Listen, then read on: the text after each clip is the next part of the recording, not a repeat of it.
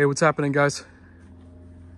So next week, Monday the 25th, this shed is getting demolished. There's gonna be a tractor back here of some sort, excavator, I don't know what it is, but it's gonna come in and tear this whole thing down. Thought it might be kind of fun to get it on video. I might live stream it. But as you can see, this thing is uh, really falling apart here. It's busting at the seams. It's needed to come down for many years, but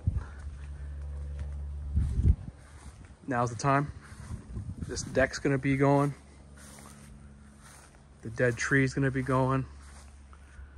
So this whole area back here is gonna look a lot different. This is not my house,